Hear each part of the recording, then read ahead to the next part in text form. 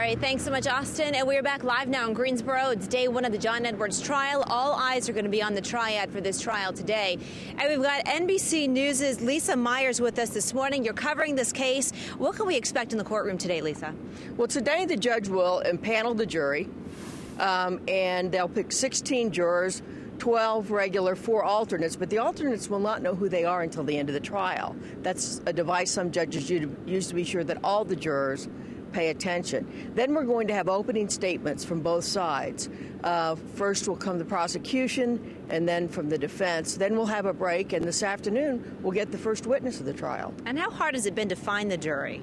Well, it's been a painstaking process. Uh, and I, I, I, think that that the defense, as difficult as, as it is, uh, given the hardened opinions about John Edwards in this area, I think the defense felt that the, they had set in place a process that would enable them to get a fair, impartial jury to hear the evidence. And Edwards rejected the plea deal. How risky is that at this point? It's tremendously risky. I mean, there are uh, certainly legal scholars, both conservative and liberal, who believe this is a very weak case legally.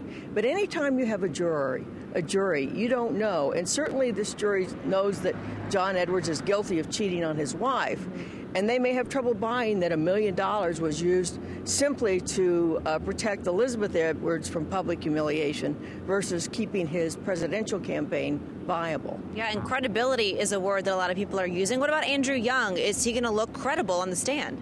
Very big question. I mean, Andrew Young has already uh, admitted lying about some things. Uh, the judge in the civil case certainly raised issues about his credibility, and I think probably the foremost uh, mission of the defense is to destroy his credibility when he's on the stand. Because if the jury doesn't believe him, it will be very hard for prosecutors to get a conviction. All right. Thank you very much for the interview. Appreciate it. You bet. Good to meet you. And of course, our coverage continues here from Greensboro, but for now, we'll send it back to Kim. All right. Thank you, Nicole.